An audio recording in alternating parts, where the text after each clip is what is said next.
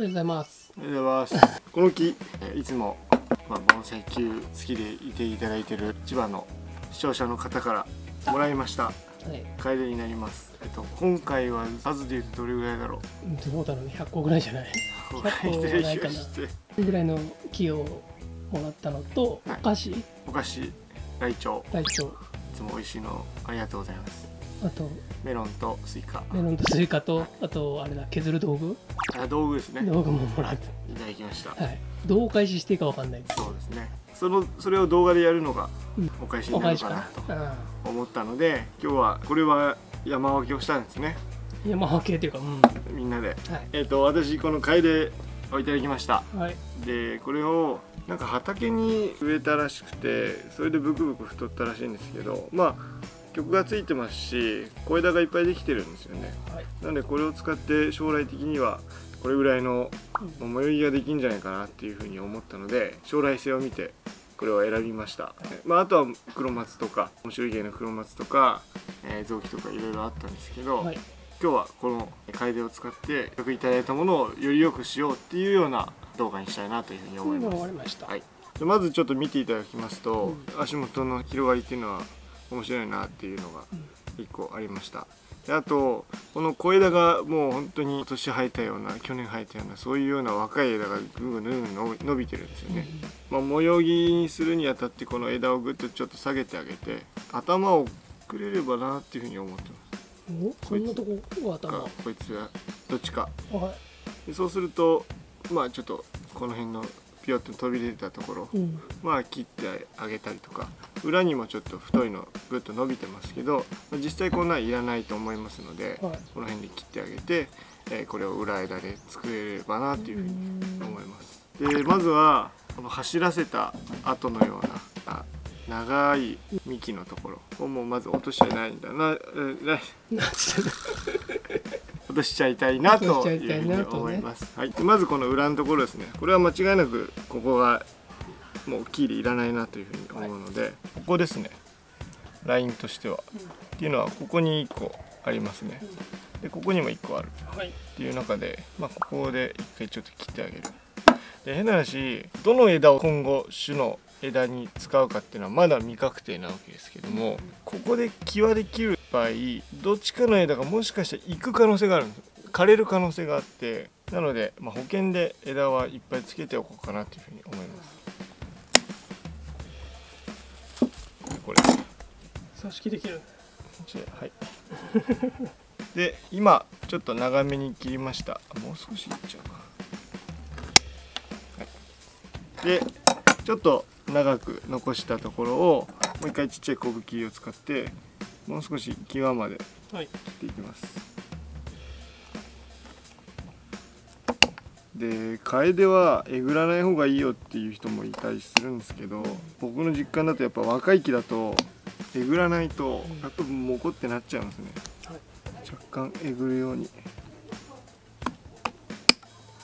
でそのえぐった時に水水の関係でこいつが枯れるかもっていうことなんですよ。要はキワキワで切るわけなんで、その枯れ込みの影響によってえ枝も巻き込んで枯れちゃうっていう場合もあると。こと？だからなるべくこの傷っていうのは平らにししてあげたいので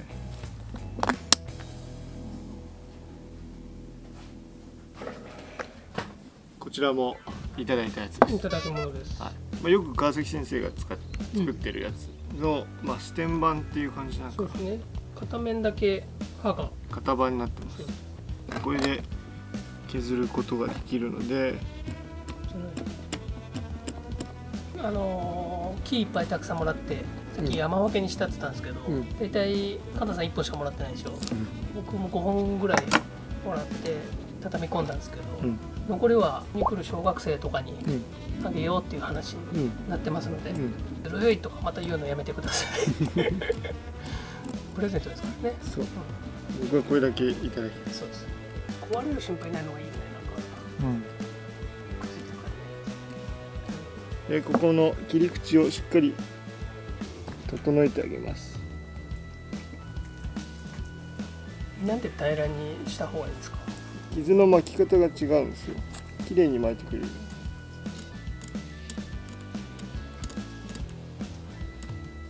はいまずじゃあ第一弾、はい、削り出しが終わりましたんで、うん、まあ、ここもカットパスタ塗っていきます。カットパスタも液タイプとパテタイプあるじゃないですか、はい。僕はこういう太巻きの場合はこのパテの方がいいかなと思ってうん。パテ使ってます、っていうのはポロッと硬くなって取れやすくなるんです。うんで液タイプも取れるようになるんですけどこっちの方が僕は好きですね。この太巻きにやる場合には。今度はここですね。どの辺を正面かなって考えるとやっぱここだと思うんですね。うんで今ここにちっちゃいやつがあるんですよ。こっち。でこれが頭かなっていうふうに思うんでちょっとこれをグッと下げて差し枝のようにするうんのかなというふうに思うんで、まあ、ここでブツと落としちゃいます。で裏にも1個枝がありますねここに。これは？これは残す。残す。その上はなくなる。その上はなくしちゃう。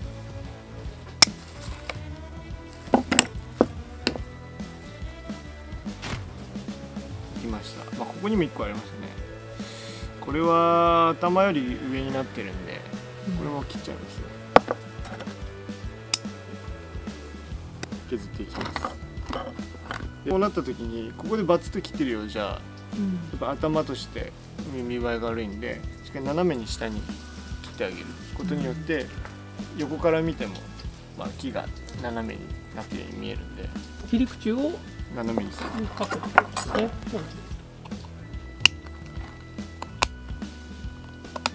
これ将来的には接ぎ木とかもするんですか？ね継ぎとかあるじゃないですか。で次はやってあげてもいいかなとは思いますね。うん。でもし枝が足りなかったらまあ呼び継ぎかなんかでうん。やってあげてもいいのかなとは思うんですけど。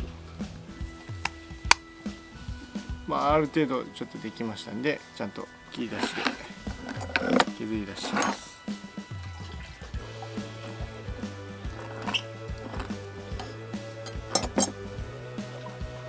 ました。こうん？れが切れちゃっておそらくですけどはい。多分ここから出るかもしれない。一発目が枝が出てるんで、うん。もしかしたら、まあ、上こんだけ落としたんではい。そこから出るかもしれないからいいんじゃない？いいじゃない？こんな感じになりました。はい。一応、まあ、またカットパスタをつけてあげますね。じゃあ針金をかけていきますでこのぐらいの まあ荒掛けという感じになるんでしょうかね、うん。やっぱりちょっとは針金は食い込むのはしょうがないと思うんですよね、うん。私これを伸ばしていって太くするっていうのは重要なことなのであんまり詰めないでいこうかなと思います。今回は。太くするために。太くするために、うん。なのでまあ本当に緩くなおかつちょっと下に下げられるようなはい。感じでかけていきたいので隙間は空きますけども重要なのは下げてで太らせるっていうことなので、まあ本来は近い同士でかけるんですけど今回はまあ見た目はそんなに気にせず同じような太さ同士でかけていきたいと思います。いきます。で下げながらこの元にはしっかりかけてあげないと効かないので、下げ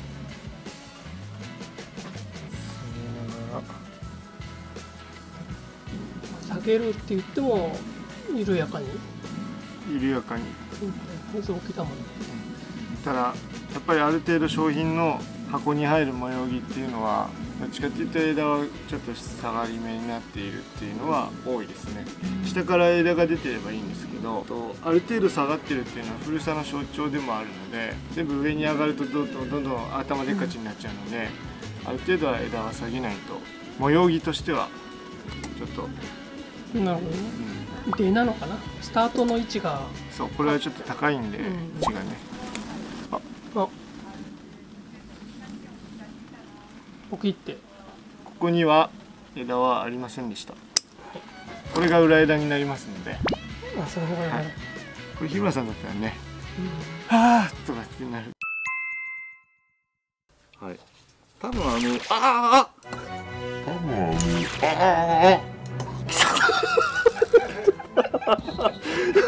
切っちゃった。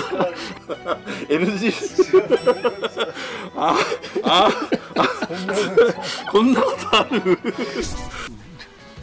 はい。で次はこれとこれかけるから。なくなったの？じゃあちょっと1.2ではい。ります。さっきは1.5で。はい、ちなみにこれ作業もう終わり？ちょっと短くないあとどういう木がうん泳ぎとしてあるのかっていうのを見ましょうか。そうしましょう。ね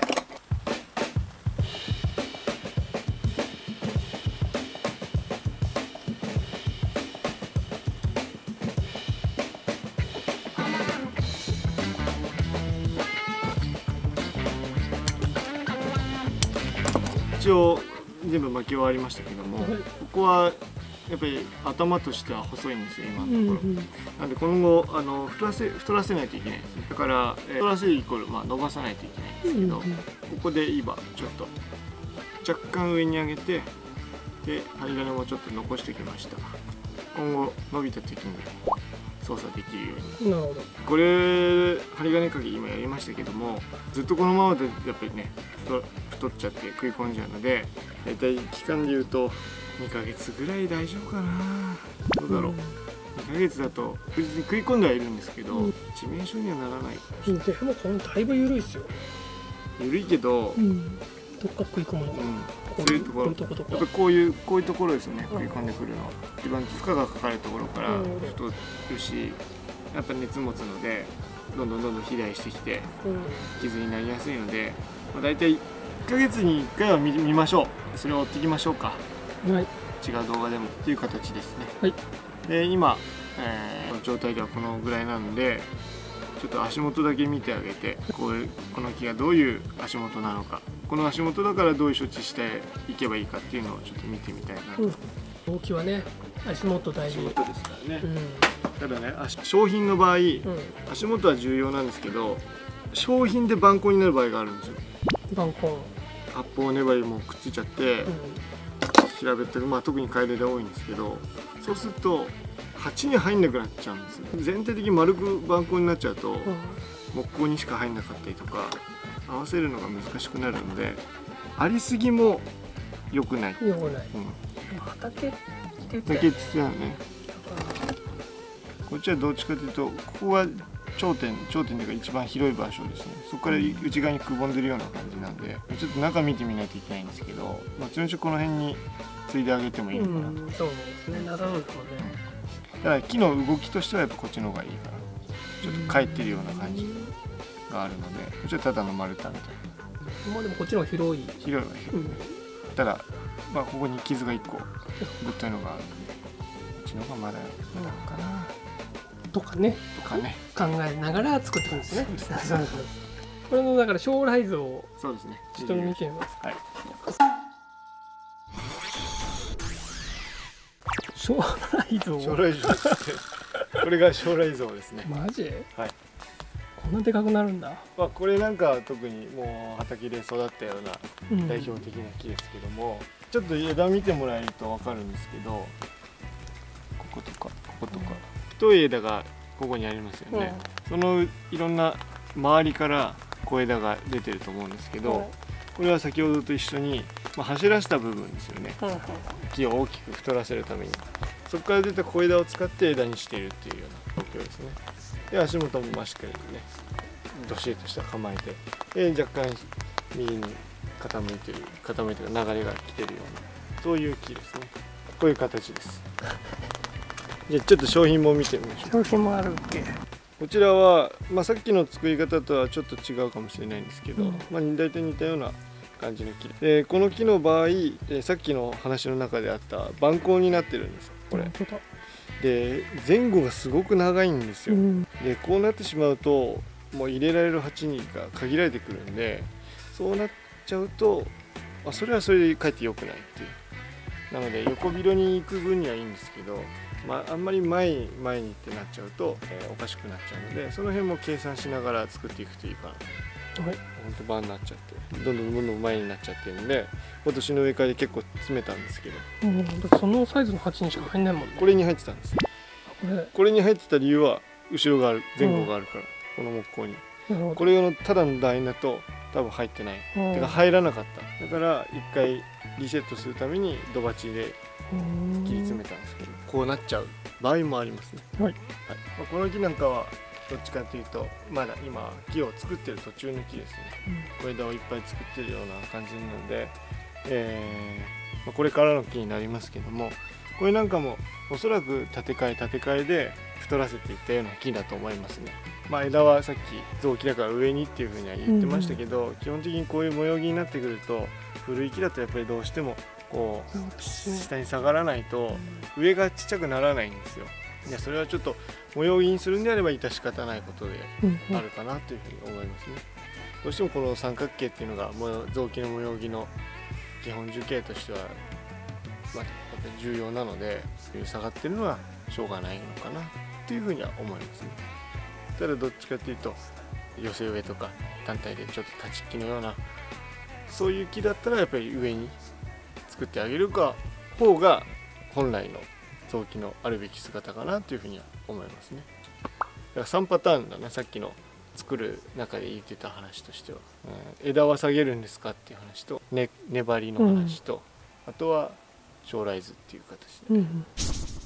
まあ、こういう形で今日は本当のなんだろう荒作りというか商品会での、えー将来図を作るっていうような動画にしてみました。将来的にはこれは、えーまあ、箱飾りのうん。えー中に入るような木にできればなというふうに思って、えー作りましたので今後は枝を作ったら今度は枝数を増やしていってで角の上がるようにやっていくのが僕の仕事ですねちなみに箱飾りに入るまでどどのぐらいかかるんですかここから？どうなんですかね。僕は一からやったことがないんで、うん。そこがまあ試し試し試しやって先輩のことを聞きながらやってる途中ですけどちょっと僕もこれを勉強材料にはい、商品の方はちょっと疎いところもあるので、うん。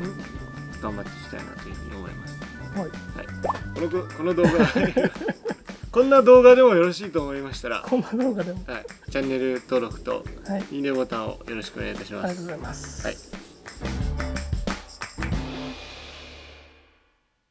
おまけ動画です。おまけです。はい、これがいただいたものですね。えー黒松とか、これも畑に入れたらしいんですけど、そのまま畑の土のまま根巻きしていただきました。これを鉢に入れてあげるとね割と面白いと思うし、まあ、小学生なんかやってこういう体験にはちょうどいいんじゃないかなというふうにそうですね。思いますよね。自分で、ね、根っこ崩してうん。鉢入れてってやってあげると結構教育的にもいい気がする。教育的にも。これなんかいいですよね。どんぐり。どんぐりどんぐりたけしだ。どんぐりたけし。曲も入ってるし。いただいたやつ大体まっすぐっていうか曲がちょっといくつか入ってるのが多かったんで、これいいじゃんね。結構ねあの方も盆栽歴長いみたいだからね。これもいいじゃんこれいいじゃんこうやって、ね。このぐらいにしてあげるなどなど。将来の。ね。ちびっ子たちちびっに子たちに。将来の盆栽家たちに。託したいと思います。わかりました。はい。スイカとメロンはどうしたんですか？スイカとメロンいただきました。食べてないですそうですねいただきましたありがとうございました。ありがとうございました。金柑案件お待ちしてます。これがあとこれ緊張。緊張る緊張じゃない。これはアースアース製薬さんですね。製薬さん。はい。圧倒的にこの2つ効きます。宣伝しちゃったら案件来ないじゃんでもしまあ将来的にそういう案件来るとしたらそういうとこかもねだって死ぬほど使ってます。そうだよね、うん。消費量は多分いろんな職業の中でも多分トップクラスだトと思う。ップで使ってます。うん。お待ちしております。よろしくお願いします。見てるかな？誰か一人ぐらい